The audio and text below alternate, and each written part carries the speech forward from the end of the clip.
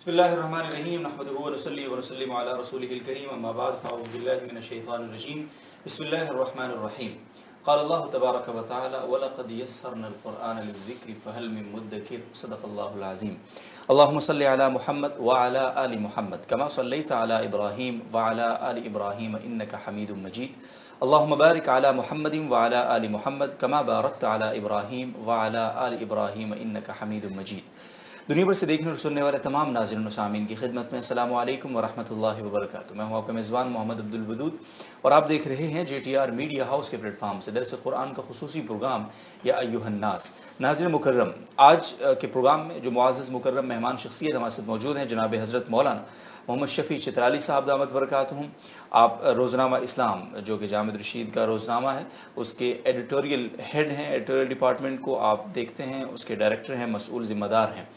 اور آپ جانتے ہیں کہ جب بھی وہ ہمارے ساتھ موجود ہوتے ہیں درس قرآن کی اس نشست میں، تو ہمارا موضوع گفتگو، مرکزی موضوع کے طور پر ہم گفتگو کرتے ہیں سورہ حجرات کے اندر۔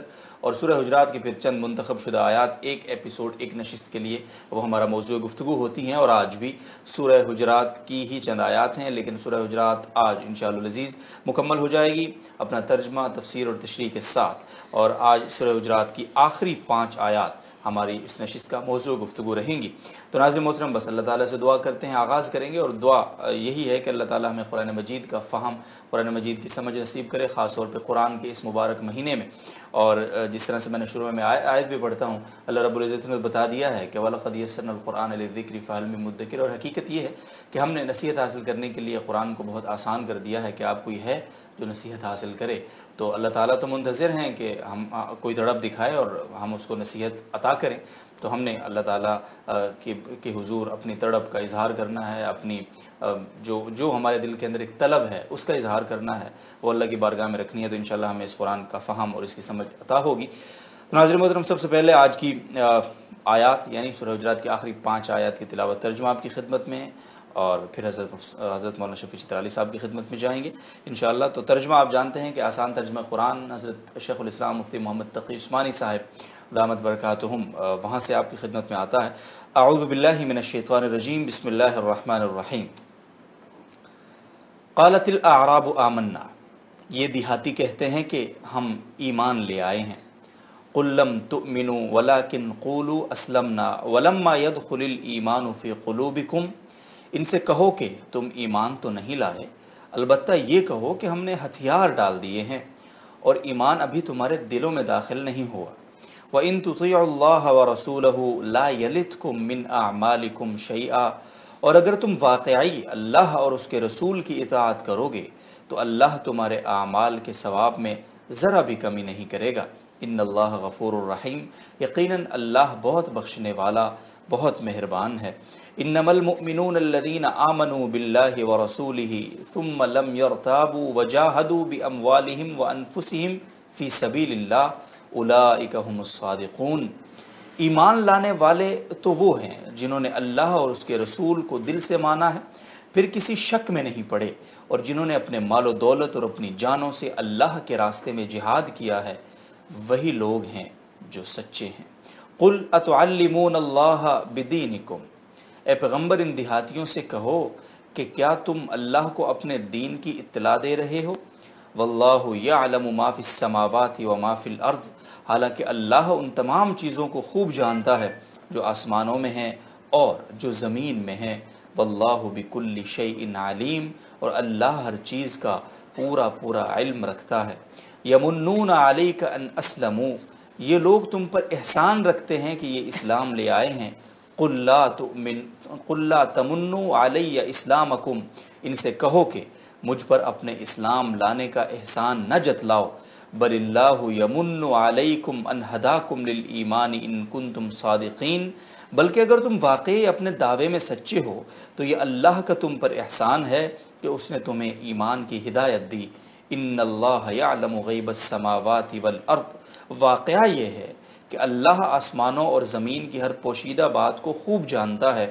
واللہ بصیر بما تعملون۔ اور جو کچھ تم کرتے ہو اللہ اسے اچھی طرح دیکھ رہا ہے۔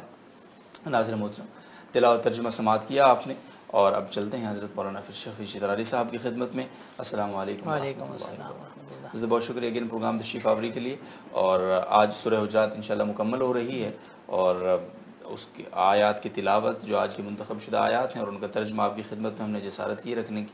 اب آپ سے اس کا کچھ مفہومی خلاصہ ان آیات کا سب سے پہلے اور پھر سوالات رکھیں گے انشاءاللہ۔ بسم اللہ الرحمن الرحیم۔ نحمد ونصلی علی رسول الکریم۔ اما بعد۔ ناظرین کرام، جیسا کہ اس صورت کی گزشتہ آیات میں ہم نے پڑھا کہ اس صورت میں اللہ تعالیٰ نے زندگی کے آداب ہمیں بتائے ہیں اور ایک مومن کے اور ایک مسلمان کے اسلام لانے کے بعد جو اس پہ ذمہ داریاں عائد ہوتی ہیں ان ذمہ داریوں کو بیان فرمایا ہے۔ تو صورت کے آخر میں اللہ تعالیٰ نے ایک بار پھر اسی بات کی یاد دہانی فرمائی ہے کہ ایمان اور اسلام جو ہے یہ صرف کوئی ٹائٹل نہیں ہے یہ صرف کوئی زبانی دعوے کی چیز نہیں ہے بلکہ اصل بات یہ ہے کہ اس کے تقاضوں کو پورا کیا جائے۔ تو کچھ لوگ آئے تھے اور انہوں نے نبی کریم صلی اللہ علیہ وسلم کی بارگاہ میں حاضر ہو کر یہ کہا کہ ہم تو مسلمان ہیں ہم مومن ہو چکے ہیں۔ تو اللہ تعالیٰ کو ان کی یادہ پسند نہیں آئی۔ اور اللہ تعالیٰ نے فرمایا کہ ایمان کا دعویٰ کرنا یہ بہت بڑی بات ہے۔ جی۔ تم ابھی تم نے ابھی اطاعت قبول کی ہے اور مسلمانوں کی کے نظم میں شامل ہو گئے ہو۔ ایمان کا دعویٰ کرنے کے لیے تو بڑے اس کے لیے تقاضے ہوتے ہیں ان کو پورا کرنا ضروری ہے۔ اور اللہ تعالیٰ فرماتے ہیں کہ ہاں یہ کہو کہ ہم نے اطاعت قبول کر لی ہم متی ہو گئے ہیں۔ اور اللہ فرماتے ہیں کہ ابھی یہ تمہارا یہ دعویٰ کرنا یہ خود اس بات کی دلیل ہے کہ ابھی ایمان تمہارے دلوں کے اندر صحیح راسخ نہیں ہوا۔ اور اگر تم اللہ کی اطاعت کرو گے اللہ کے رسول کی اطاعت کرو گے تو بہت اچھی بات ہے۔ اور اللہ تعالیٰ بہت ہی قدردان ہیں۔ اللہ تعالیٰ ایمان والوں کے اعمال کو اور ان کے کردار کو ان کی نیکیوں کو اللہ تعالیٰ قبول فرماتے ہیں اس میں کوئی کمی نہیں فرماتے۔ بے شک اللہ تعالیٰ بہت زیادہ مہربان ہیں اور اللہ تعالیٰ معاف فرمانے والے ہیں اور رحم فرمانے والے ہیں۔ آگے اللہ تعالیٰ نے فرمایا کہ مومن کون ہوتا ہے؟ سچا مومن کون ہوتا ہے؟ جی۔ تو فرمایا کہ سچے مومن تو وہ ہیں کہ جو اللہ کی ذات پر پختہ انہوں نے ایمان رکھا اللہ کے رسول صلی اللہ علیہ وسلم پہ غیر متزلزل یقین رکھا ایمان رکھا۔ پھر کسی ایمان لانے کے بعد کسی شک و شعبے میں مبتلا نہیں ہوئے۔ اور پھر اللہ کے راستے میں انہوں نے قربانیاں دی جہاد کیا اور دین کے راستے میں قربانیاں، عملی قربانیاں دیں۔ اور ایسے لوگ جو دین کے راستے میں سچے دل سے قربانی دینے والے ہیں، وہی سچے مومن کے لانے کے مستحق ہیں۔ اللہ تعالیٰ نے فرمایا ان لوگوں سے کہ کیا تم اللہ تعالیٰ کو بتلاتے ہو کہ ہم دیندار ہو گئے ہیں ہم نے اسلام قبول کیا ہے؟ جبکہ اللہ تعالیٰ تو آسمانوں و زمینوں میں جو کچھ ہے اس کی خبر رکھتے ہیں اس کا علم رکھتے ہیں۔ اور اللہ تعالیٰ ہر چیز پر اللہ تعالیٰ کا علم محیط ہے۔ اور اللہ تعالیٰ نے جناب نبی کریم صلی اللہ علیہ وسلم کو مخاطب کر کے فرمایا کہ کیسے لوگ ہیں کہ آپ کے اوپر احسان جتلاتے ہیں کہ ہم آپ کے اوپر ایمان لائے ہیں۔ اور فرمایا کہ اللہ کا احسان ماننا چاہیے ان کو۔ کہ اللہ نے ان کو ایمان کا راستہ دکھایا۔ ایمان لانا یہ کوئی احسان کی بات نہیں ہے۔ اللہ کے اوپر اللہ کے رسول کے اوپر کوئی احسان کی بات نہیں ہے بلکہ یہ اللہ کا احسان ہے اللہ کے رسول کا احسان ہے۔ اس کو مان لینا چاہیے کہ اللہ تعالیٰ نے ایمان کا راستہ ہمیں دکھایا ہے۔ اللہ تعالیٰ آسمانوں و زمینوں میں جو کچھ چھپا ہوا ہے اس اور جو کچھ ظاہر ہے اس سب کو اللہ تعالیٰ جاننے والے ہیں۔ اور اللہ تعالیٰ تمہارے اعمال پر بھی اچھی طرح نظر رکھتے ہیں کہ تم کیا کرتے ہو۔ کیا کرتے ہو؟ بہت بہت شکریہ حضرت آپ نے ان آیات کا خلاصہ بیان فرمایا ماقبل سے بھی ان کو کچھ جوڑا جو پچھلا مضمون تھا ہمارا اس سے بھی۔ اب سب سے پہلے تو خالت العراب و آمنہ جہاں سے آغاز کیا ہے ہم نے یہ دیہاتی کہتے ہیں۔ جی جی۔ یعنی اس ان آیات کا اگر کوئی پس منظر کوئی شان نزول ہے یہ دیہاتی کون تھے کیا واقعہ ہے وہ جی جی۔ بتائیں۔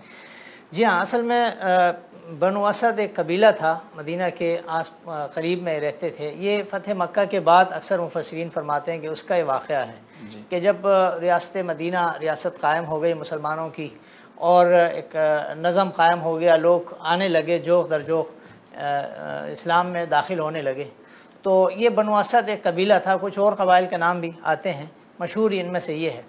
تو یہ لوگ باہر سے آئے اور آ کر انہوں نے جناب نبی کریم صلی اللہ علیہ وسلم تشریف فرما تھے، تو انہوں نے آ کر آپ صلی اللہ علیہ وسلم کے سامنے اپنے آنے کو اس انداز سے بیان کیا کہ جیسے کوئی بہت احسان کر رہے ہوں، اور انہوں نے کہا کہ یا رسول اللہ دیکھیں، فلاں فلاں قبائل نے آپ کے ساتھ جنگ کی، اور وہ جنگ کے ذریعے سے متی ہوئے، ہم نے تو کوئی جنگ نہیں کی، اور ہم جو ہے وہ جنگ کے بغیر ہی ہم آپ کی خدمت میں حاضر ہوئے ہیں۔ تو آپ ہمارے ساتھ جو ہے وہ خصوصی رعایت کریں۔ اور وہ رعایت کیا تھی؟ کہ کچھ صدقات و زکوٰۃ میں سے وہ اپنا حصہ مانگتے تھے۔ اور مفسرین نے لکھا ہے کہ جس وجہ سے یہ آیت اتری ہے وہ یہ ہے کہ جب وہ مدینہ میں آئے اور وہاں آ کے انہوں نے کچھ کاروبار سنبھالا تو وہاں انہوں نے دو کام کیے۔ ایک کام یہ کیا کہ مدینہ کے اندر گندگی پھیلا دی کچرا پھیلا دیا۔ اور دوسرا کام جو انہوں نے کیا وہ یہ کہ چیزیں مہنگی کر دیں۔ قحط کا زمانہ تھا باہر سے یہ کچھ چیزیں لاتے تھے اور لا کر جو ہے انہوں نے لوگوں پہ مہنگائی مسلط کر دی۔ تو یہ چیز اللہ کو پسند نہیں آئی اور اللہ تعالیٰ نے اس پہ جو ہے وہ سخت اللہ نے یعنی وعید نازل فرمائی، ان کی گرفت فرمائی اور یہ آیات نازل فرمائی کہ یہ جو کچھ آپ کر رہے ہیں یہ ایمان کے تقاضوں کے مطابق نہیں ہے۔ ایک سچا مومن جو ہے اول تو مومن دعویٰ نہیں کرتا۔ علماء فرماتے ہیں کہ ایمان کی خاصیت یہ ہے کہ یہ جتنا راسخ ہو جتنا پختہ ہو اتنا انسان کے اندر جو ہے وہ نیاز بڑھتا ہے ناز نہیں جی، بڑھتا۔ ایمان ناز کرنے کی چیز نہیں ہے بلکہ یہ انسان کے اندر نیاز مندی پیدا کرتا ہے۔ تو ایمان جتلانے کی چیز نہیں ہے۔ اور جی۔ دوسری بات یہ ہے کہ ایمان کو ظاہر ہونا چاہیے اچھے اعمال کی صورت میں۔ کہ ایمان لانے والا جو ہے وہ معاشرے کو فائدہ پہنچانے والا ہونا چاہیے اور اس سے جو ہے وہ معاشرے کو معاشرے میں خیر پھیلنی چاہیے۔ نہ یہ کہ وہ معاشرے کے اندر گندگی پھیلانے والا ہو جی۔ اور معاشرے کے اندر جو ہے وہ لوگوں پر مہنگائی مسلط کرنے والا ہو تو یہ ایمان کے تقاضوں کے برخلاف ہے۔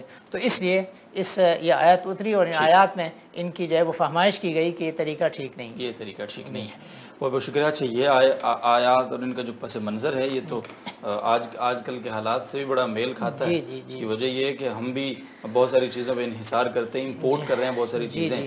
اور امپورٹ کر کے پھر ذخیرہ اندوزی ہوتی ہے پھر رمضان آ گیا ہے سیزن ہوتا ہے یعنی فراڈ کا خدا نخواستہ اللہ معاف کرے۔ یہ حقیقت ہے کہیں نہ کہیں کہ وہ رمضان جو خیر خواہی کا مہینہ ہوتا ہے مسلمانوں کے لیے اللہ تعالیٰ بھیجتے ہیں اس کو۔ وہاں اس رمضان میں بدخواہی ہوتی ہے اس صورت میں جس طرح سے جی، آپ نے جی، اس واقعے پر جی، سمندر بتایا کہ وہ مہنگے داموں چیزیں بیچتے تھے ذخیر اندوزی کر لیتے تھے مہنگائی مسلط کرتے تھے۔ کیا فرمائیں گے اس حوالے سے؟ رمضان کے مطلب ماحول جی ہاں بالکل یہ آیت ہمیں بہت جھنجھوڑتی ہے۔ یعنی گویا کہ اللہ تعالیٰ فرماتے ہیں کہ وہ شخص مومن ہی نہیں ہو سکتا کہ جو ایمان کے تقاضوں کے برخلاف کام کرتا ہو۔ اور جن جس سیاق میں یہ آیات اتری ہیں اس میں ایمان کے برخلاف جو کام ہوئے تھے وہ یہی تھے۔ کہ ایک تو احسان جتلانا نبی کے اوپر نبی کے آداب کی برخ کی خلاف ورزی۔ اور دوسرا دوسری جو چیز تھی وہ تھی کہ لوگوں پہ انہوں نے مہنگائی مسلط کر دی تھی۔ اور اپنے اسلام کو انہوں نے کاروباری اپنے مفاد کے لیے استعمال کرنے کی کوشش کی۔ یعنی یہ بہت بڑا المیہ ہے کہ دین کو اور اسلام کو ہم اپنے کاروباری مفاد کے لیے ذاتی مفاد کے لیے تو استعمال کریں۔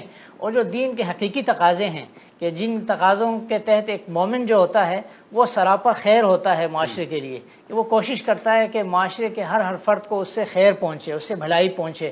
وہ لوگوں کو راحت پہنچانے کی کوشش کرتا ہے، لوگوں کے ساتھ حسن سلوک کی کوشش کرتا ہے۔ لیکن بدقسمتی یہ ہے کہ ہمارے جو معاشرتی رویے ہیں، وہ اس کے برعکس جا رہے ہوتے ہیں۔ اور ہم ایک طرف مومن ہونے کا مسلمان ہونے کا ہم دعویٰ کر رہے ہوتے ہیں لیکن دوسری طرف جو ہمارے کام ہوتے ہیں وہ کام ہم اپنے معاشرے میں ہم دیکھتے ہیں کہ کس طریقے سے ہم مہنگائی مسلط کرتے ہیں۔ اس میں جو دوسری اس واقعے میں جو دوسری جی۔ چیز ہے کہ معاشرے میں گندگی پھیلانا۔ اور آج ہمارے معاشرے میں دیکھیں ہمارے ہماری مارکیٹوں میں دیکھیں کہ کس طرح لوگ قبضہ کر کے بیٹھ جاتے ہیں کس طرح لوگ جو ہے وہ سڑکیں تنگ کر دیتے ہیں کس طرح لوگ تجاوزات کرتے ہیں اور کس طرح لوگ کچرا پھیلا رہے ہوتے ہیں۔ تو یہ ان آیات کا جو نشان یعنی نزول ان کی جو ہے، اس کے تناظر میں یہ یہ ہمیں سوچنا چاہیے کہ یہ چیز، یہ ساری چیزیں جو ہے وہ ایمان کے تقاضوں کے برخلاف ہیں۔ ایک مومن جو ہوتا ہے، وہ دوسروں کے لیے اذیت کا باعث نہیں بنتا۔ وہ ایک مومن، دوسرے مومنوں کے لیے، پورے معاشرے کے لیے وہ راحت کا ذریعہ بنتا ہے، وہ ان کے لیے خیر خائی کا ذریعہ بنتا ہے۔ اگر وہ تاجر ہے تو اس کی کوشش ہو کہ وہ لوگوں کو زیادہ سے زیادہ نفع پہنچائے وہ اس لوگوں کو زیادہ سے زیادہ چیزیں معیاری اور سستی فراہم کرنے کی کوشش کرے اس میں برکت ہوتی ہے۔ تو یہ خاص طور پر اس رمضان کے حوالے سے یہ کتنی بڑی بدقسمتی کی بات ہوتی ہے کہ رمضان کی رحمتیں اور برکتیں جو ہے وہ اللہ کی طرف سے اتنی بڑی نعمت ہے رمضان۔ لیکن ہم کیسے اس کو زحمت بنا دیتے ہیں ایک دوسروں کے لیے؟ کس طریقے سے ہم لوگوں پہ مہنگائی مسلط کر دیتے ہیں؟ کس طرح چیزیں بڑھاتے ہیں؟ کس طرح ذخیرہ اندوزی کر دیتے ہیں؟ تو یہ ساری چیزیں جو ہیں وہ سوچنے کی ہیں ان آیات کے تناظر میں۔ صحیح۔ بالکل سوچنے کی ہیں جی اور فکر مندی کی ہیں اور جو جو ناظر محترم وہ ممالک جو غیر مسلم ممالک ہیں، جہاں جو اسلام کے نام پر وجود میں نہیں آئے، جہاں کی اکثریتی آبادی وہ غیر مسلم ہے، وہاں اقلیت میں ہے مسلمان وہاں جب رمضان آتا ہے تو ایسی ایسی وہاں سہولتیں جی۔ مسلمانوں کے لیے ایسے ایسے استقبالی بینرز نظر آتے ہیں رمضان کے حوالے سے کہ انسان کا ایمان داز ہو جاتا ہے اور ہم جو اسلام کے نام پر ایک واحد یہ خطہ ہے جو اسلام کے نام پر وجود میں آیا ہے تو ہمارا رویہ کیا ہے کہ ایک متوسط آدمی وہ بیچارہ لیمو نہیں خرید سکتا ہے آسانی سے۔ باقی چیزیں تو بہت دور کی بات ہے تو ہمیں غور کرنا ہے ضرور غور کرنا ہے صرف سن کے کان سے نکالنا نہیں۔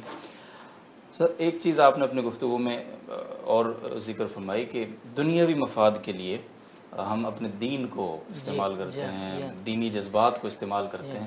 یہ یہ کس پس منظر میں فرمایا آپ نے؟ میں کہیں اور جا رہا ہوں اگر میرے کہنے سے پہلے آپ اس طرف میرے خیال میں آپ جس طرف جا رہے ہیں وہی میرا بھی مقصود ہے کہ ہمارے معاشرے کا آج کا ایک بڑا المیہ یہ ہے کہ ہم دین کو یہ دین عمل کرنے کے لیے یہ دین جو ہے اس کے سانچے میں اپنے آپ کو ڈھالنے کے لیے ہے۔ جی۔ اور اس دین سے اپنے کردار کو چمکانا یہ اس دین کا مقصود ہے۔ صحیح۔ لیکن بدقسمتی یہ ہے کہ ہم اس دین کو بھی کاروباری مقصد کے لیے اس کو استعمال کرنا ہم نے شروع کیا ہے۔ اور اس کی واضح مثال جیسے ہماری جو یہ رمضان ٹرانسمیشنز ہیں جو مختلف ٹی وی چینلوں میں جی، جو جی، لوگ جی۔ کرتے ہیں تو اس کا مقصد جو ہے وہ رمضان کا جو پیغام ہے اور روزے کی جو روح ہے اور اس مہینے کی جو اس کا جو اس میں جو ہمدردی اور مواصلات اور ایک دوسرے کی خیرخواہی کا جو اس کا پیغام ہے اس پیغام کو پھیلانا کم ہوتا ہے۔ اور اس ضمن میں کاروباری مفاد حاصل کرنا۔ اور کمپنیوں کو جو ہے وہ کمپنیوں سے جو ہے وہ پیسے وصول کرنا جی۔ ریٹنگ اور ایک ایک عجیب و غریب دوڑ جی، جی۔ لگی ہوتی ہے۔ تو یہ بہت بڑا المیہ ہے۔ اور یہ رمضان کی جو روح ہے اس روح کو مجروح کر رہی ہے۔ تو اس یہ جو طرز عمل ہے اس طرز عمل پہ ہمیں نظر ثانی کرنی چاہیے اور ان چیزوں سے ہمیں بچنا چاہیے اور ہم عوام کو بھی کوشش کرنی چاہیے کہ ہم خود ان یعنی اس ان چیزوں کی ان ٹرانسمیشنز کی اور جو اس طرح کے کاروباری مفادات کے لیے اسلام کو استعمال کرتے ہیں مذہب کو فروخت کرتے ہیں تو ہم خود ان کا حصہ بن کر ان کی ریٹنگ کو بڑھا رہے ہوتے جی۔ ہیں۔ تو ہمیں ذمہ داری کا مظاہرہ کرنا چاہیے اور کوئی ایسا کام نہیں کرنا چاہیے جو ہمارے ایمان اور ہمارے دین کے تقاضوں کے خلاف ہو۔ اور ایمان یہ جو رمضان ہے یہ روحانیت کا مہینہ ہے۔ روحانیت کو ترقی دینے کا مہینہ ہے۔ لیکن جو ہمارے ہاں سے جو کچھ ہوتا ہے وہ مادیت کے فروغ کا ہم نے اس کو ایک ذریعہ بنایا ہے۔ تو ہمیں اس میں اپنے اس طرز عمل پہ نظر ثانی کرنی چاہیے اور کوشش کرنی چاہیے کہ ہم رمضان کا جو اس کی جو روح ہے اس روح کو اپنے اندر ہم بسائیں اس طریقے سے کہ ہم اس میں وقت ضائع کرنے کی بجائے اور ان ٹرانسمیشنز اور ان یہ جو پروگرام ہوتے ہیں ان میں جی۔ اپنا وقت ضائع کرنے کی بجائے ہم جو ہے وہ روحانی جو اللہ تعالیٰ نے نعمتیں ہمیں عطا فرمائی ہیں قرآن کریم کی تلاوت ہے اور ذکر و اذکار ہیں اور اہل اللہ کی مجلسیں ہیں تو ہم ان سے اپنے آپ کو آراستہ کرنے کی کوشش کریں انشاءاللہ جی انشاءاللہ۔ اللہ تعالیٰ توفیق عطا فرمایا اور یہی یہی مقصود ہے جس طرح سے مولانا صاحب نے فرمایا۔ حضرت محترم حضرت اگلا جو سوال آپ کی خدمت میں رکھیں گے، یہاں قلم تؤمنوا ولیکن قولوا اسلمنا ان سے کہو کہ تم ایمان تو نہیں لائے، البتہ تم نے ہتھیار ڈال دیے ہیں۔ ٹھیک ہے؟ تو یہ یہاں ایمان اور اسلام، یہ دو الگ الگ چیزیں یعنی بظاہر معلوم ہو رہی ہیں کہ ایمان کو الگ چیز ہے اسلام کو الگ چیز ہے جبکہ ہمارے معاشرے میں تو ایمان اور اسلام ایک ہی یعنی ان کو صرف ایک ایک مترادف کے طور پر دیکھا جاتا ہے استعمال کیا جاتا ہے۔ تو ایمان اور اسلام میں کوئی اصطلاحی فرق مفہوم کے اعتبار سے اگر کوئی ہے جو آسان انداز میں آپ ہمیں سمجھا سکے تو وہ کیا ہے؟ جی آپ نے بڑا اچھا سوال کیا۔ اس آیت کی کے ضمن میں مفسرین نے اس پہ بحث کی ہے۔ جی۔ کہ اسلام اور ایمان کا مفہوم کیا ہے اور آیا ان میں کوئی فرق بھی ہے کہ نہیں؟ جی جی۔ تو بیشتر مفسرین کی رائے یہ ہے کہ اسلام اور ایمان جو ہیں یہ ان میں فرق جو ہے وہ یعنی مفہوم کے لحاظ سے حقیقت میں فرق نہیں ہے۔ یعنی اس کو آپ ایک مثال سے سمجھیے جی۔ کہ ایک شخص جو ہے وہ یعنی ہر مسلمان کو حکم ہے اپنے ماں باپ کی فرما برداری کا۔ جی۔ تو اب دو بھائی ہیں۔ ایک بھائی ایسا ہے کہ وہ ماں باپ کی فرما برداری کا دل سے قائل ہے۔ اور وہ کہتا ہے کہ بالکل ماں باپ کی ہر بات ماننی چاہیے اور یہ بہت بڑی سعادت کی بات ہے اور یہ خوش قسمتی کی بات ہے یہ کرنا چاہیے لیکن کرتا نہیں ہے۔ کرتا نہیں۔ اور ایک بھائی وہ ہے کہ جو صبح شام ماں باپ کی خدمت میں لگا ہوا ہے لیکن وہ اس کو ایک بوجھ سمجھ کے کرتا ہے۔ صحیح۔ اور وہ یہ سوچ کے سمجھ کرتا ہے کہ کہیں لوگ کیا کہیں گے۔ اور کہیں میراث سے محروم نہ ہو جاؤں۔ یعنی اب یہ یہ سمجھنے کی بات جی ہے جی جی۔ کہ اصل یعنی جو کامل درجہ ہے ایمان کا وہ یہ ہے کہ وہ ماں باپ کی خدمت بھی کرے اور اس کو سعادت بھی سمجھے۔ سعادت بھی سمجھے۔ یہ یہ کامل درجہ ہے۔ اب اگر کوئی شخص جو ہے وہ جیسے میں نے دو بھائیوں کی مثال دی۔ کہ اگر کوئی شخص اس پر اکتفا کرتا ہے کہ میرے دل میں ماں باپ کی بہت قدر ہے لہٰذا مجھے ان کی خدمت کرنے کی ضرورت نہیں ہے ان کی کوئی فرما برداری کرنے کی عملاً ضرورت نہیں ہے تو یہ بھی غلط ہے۔ اور اگر کوئی شخص صبح سے شام تک ماں باپ کی خدمت تو کرتا ہے جی۔ لیکن دل سے نہیں کرتا تو یہ بھی کافی نہیں ہے۔ اسلام تقاضا کرتا ہے کہ یہ دونوں ہوں۔ تو ایمان کی بھی یہی یعنی ایمان اور اسلام میں بھی یہی نسبت ہے۔ یعنی ایمان دل کی کیفیت کا نام ہے۔ علماء فرماتے ہیں کہ ایمان کے ویسے یعنی ایمان کے تین جو وہ ہیں اس کے اجزاء ہیں۔ جی۔ ایک وہ ہے کہ اقرار باللسان زبان سے اقرار کرنا یہ بھی ضروری ہے۔ شریعت کے جو احکام ہیں یہ احکام تب لاگو ہوتے ہیں جب انسان زبان سے اس کا اقرار کریں جی۔ اور دوسرا ہے کہ تصدیق بالجنان جی۔ کہ آدمی دل سے اللہ کی ذات پر ایمان لائے اللہ کے رسول صلی اللہ علیہ وسلم پر ایمان لائے اور شریعت کو دل سے تسلیم کرے۔ یہ یہ قلبی کیفیت ہے۔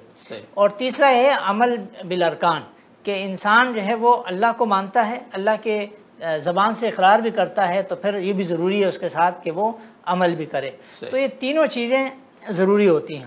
تو اس لیے علماء فرماتے ہیں کہ ایمان اور اسلام جو ہیں وہ قرآن کریم اور احادیث میں بہت ساری احادیث اور آیات کو سامنے رکھتے ہوئے علماء فرماتے ہیں کہ ان میں سے کسی چیز کا درجہ کسی سے کم نہیں ہے۔ جی۔ یعنی ایمان بھی ضروری ہے اور اسلام بھی ضروری ہے۔ فرق صرف مفہوم کے اعتبار سے۔ بعض حضرات فرماتے ہیں کہ جیسے حدیث جبریل میں آتا ہے کہ ایمان کے بارے میں الگ سوال ہوا اسلام کے بارے میں الگ سوال ہوا احسان کے بارے میں الگ سوال ہوا تو بعض حضرات کی رائے یہ ہے کہ ایمان جو ہے وہ اسلام ظاہری اطاعت کا نام ہے۔ یعنی ایک شخص جو ہے وہ ظاہری طور پر وہ شریعت کو تسلیم کرتا ہے وہ زبان سے اقرار کرتا ہے تو وہ مسلمان شمار ہوگا۔ جی۔ لیکن ایمان مومن وہ تب شمار ہوگا جب وہ دل سے اس کو مانتا ہو۔ تو بعض حضرات کی رائے یہ ہے کہ ایمان جو ہے یہ ایک خاص مفہوم ہے۔ اور اسلام جو ہے وہ تھوڑا سا عام مفہوم ہے۔ لیکن جمہور علماء کی رائے مفسرین کی رائے میں نے عرض کی وہ یہی ہے کہ اسلام اور ایمان جو ہے اس میں فرق جو ہے وہ تھوڑا سا مفہوم کا فرق ہے باقی عملی لحاظ سے ان میں فرق نہیں ہے۔ دل سے ایمان لانا بھی بہت ضروری ہے اور اپنے اعضاء سے جو ہے وہ دین کے جو احکام ہیں ان کے اوپر عمل کرنا بھی ضروری ہے۔ یہ دونوں چیزیں ضروری ہیں۔ دونوں چیزیں ضروری ہیں دونوں چیزیں مطلوب اور مقصود ہیں ساتھ ساتھ۔ ایک چیز ہو دوسری چیز نہ ہو تو ظاہر ہے وہ کامل درجہ بھی نہیں ہے اور وہ مطلوب ہم ہمارا وہ پورا بھی نہیں ہوتا جو اللہ تعالیٰ کا ہم سے مطلوب اور مقصود ہے۔ ناظر محترم سورہ حجرات کی آخری آیات کا ترجمہ تفسیر تشریح آپ نے جانی ہے اور جو سوالات تھے ہمارے ذہن میں ہم نے حضرت کی خدمت رکھے ہیں ان کا جواب بھی ملا۔ اب تقاضا یہ معلوم ہوتا ہے اور یہ پیدا ہو رہا ہے دل میں کہ یہ جو پوری صورت ہے، جس میں اتنے خوبصورت احکام ہم نے سنے معاشرتی اعتبار سے معاشرتی برائیوں کو جس خوبصورت انداز میں اللہ رب العزت نے ایڈریس کر کے ان کا جو حل بتایا ہے اور جو جو جو ان پر وعیدیں پھر بیان ہوئی ہیں، جس طرح سے ڈرایا ہے ہمیں کہ اگر ہم ان چیزوں سے نہ بچے تو انجام کیا ہوگا، اس کے معاشرتی نقصان کیا ہیں؟ یہ ساری چیزیں ہم نے سنی ہیں۔ دیگر بہت سارے مضامین ہیں اس صورت میں۔ ہماری پوری زندگی کو جو ایڈریس کرتے ہیں، ہر سیگمنٹ کو کہیں کہیں نہ کہیں ایڈریس کر رہے ہیں پوری ہماری جو لائف ہے اس کے تو ناظر محترم، اس صورت کا خلاصہ ہم حضرت سے ضرور جانیں گے کہ خلاصے کے اعتبار سے ہم اس کو مختصراً اگر ہم اس صورت کا کوئی مفہوم اپنے ذہن میں بٹھائیں کہ سورہ حجرات کیا کہہ رہی ہے ہمیں؟ کیا پیغام ہے سورہ حجرات کا؟ تو وہ کیا ہوگا حضرت؟ جی ہاں اس صورت کا جو پیغام ہے وہ یہ ہے کہ انسان سب سے پہلے حقوق العباد حقوق اللہ کو پہچانے۔ جی۔ یعنی اللہ کو پہچانے اللہ کے جو حقوق ہیں اللہ کے رسول صلی اللہ علیہ وسلم کے جو حقوق ہیں جو ایمانیات کا باب ہے جی۔ ان کو پہچاننا اور بارگاہ رسالت صلی اللہ علیہ وسلم میں ادب اور احترام کے جو تقاضے ہیں ان تقاضوں کو انسان جو ہے وہ پہچانے اور ان پہ عمل کرے۔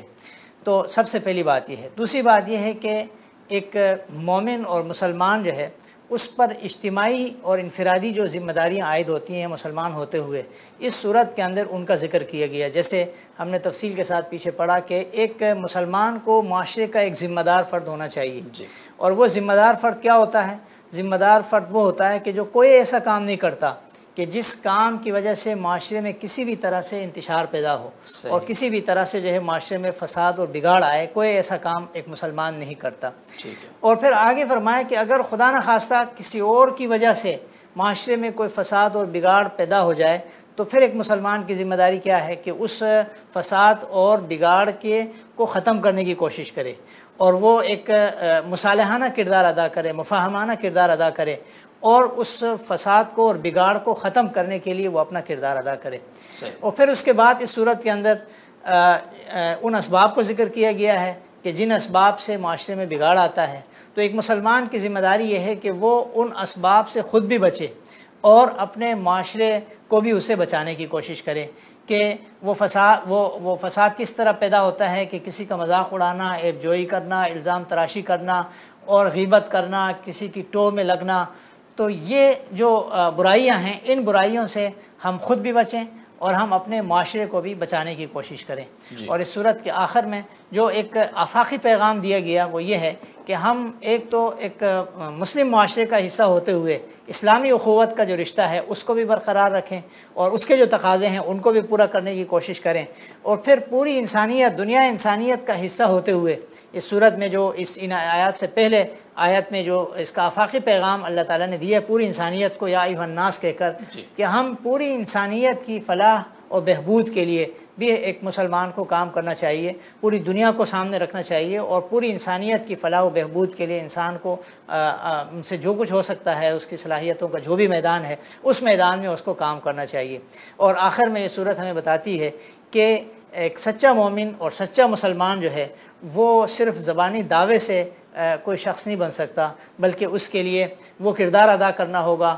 اور وہ سارے کام کرنے ہوں گے وہ آداب و اقدار ان کو اختیار کرنا ہوگا جن اقدار اور آداب کی جانب اس صورت میں اور اس کے علاوہ قرآن کریم کی دیگر صورتوں میں اور احادیث نبویہ میں جو اسلام نے ہمیں بہت عرفہ تعلیمات دی ہیں زندگی کے ہر شعبے سے متعلق ہم ان تعلیمات کو اپنائیں گے دل و جان سے اور ان تعلیمات کو ہم پھیلائیں گے تو ایک بامقصد زندگی ہم گزاریں گے اور یہی صورت کا پیغام ہے کہ ایک مسلمان کو ایک بامقصد زندگی گزارنا چاہیے اور معاشرے کا ایک مفید اور ایک تعمیری کردار بننا چاہیے اور معاشرے کے اندر جو منفی چیزیں ہوتی ہیں ان سے ان کو دور کرنے کی کوشش کرنی چاہیے اور مثبت رویوں کو فروغ دینے کی کوشش کرنی چاہیے۔ بہت بہت شکریہ حضرت مولانا شفیع چتر علی صاحب ساتھ موجود ہیں ناظر محترم اور آخر میں آپ نے سورہ حجرات آج مکمل ہوئی ہے الحمدللہ بفضل خدا اور صورت کا خلاصہ اس صورت کا پیغام جو ہے وہ نہایت خوبصورت انداز میں، نہایت مختصر الفاظ میں آپ کی خدمت میں آیا اور ہم نے بھی یقیناً آپ کے ساتھ ساتھ سنا۔ تو اللہ تعالیٰ سے دعا کرتے ہیں، اللہ رب العزت یہ جو سلسلہ رہا ہمارا سورہ حجرات کی، کے ترجمہ تفسیر اور تشریح کا اور اسی تفہیم کا، اللہ رب العزت ہم سب کے لیے اس کو مبارک کرے۔ اور ہمیں اس سے جو جو اللہ تعالیٰ ہمیں سمجھانا چاہتے ہیں، جو اللہ رب العزت کی مراد ہے اس سے وہ اس مراد کو ہمیں سمجھ کر اس پر عمل پیرا ہونے کی اور اپنی زندگی میں اس کو لاگو کرنے کی توفیق عطا فرمائے۔ ناظر محترم رمضان المبارک کے مقدس لمحات ان معطر اور مقدس ساعات کی خوبصورت دعاؤں میں جس طرح سے آپ اپنے آپ کو، اپنے عزیز و قارب دیگر سب کو یاد رکھتے ہیں، تو G T R media house کی اس پوری ٹیم کو ہم سب کو اپنے دعاؤں میں ضرور یاد رکھیے گا۔ اور اللہ رب العزت سے اپنے لیے جب آپ ہدایت مانگتے ہیں، ہم سب کے لیے بھی ہدایت مانگی۔ انشاءاللہ ملاقات ہوتی ہے آپ سے اگلے پروگرام میں۔ تب تک لیے اجازت دیجیے۔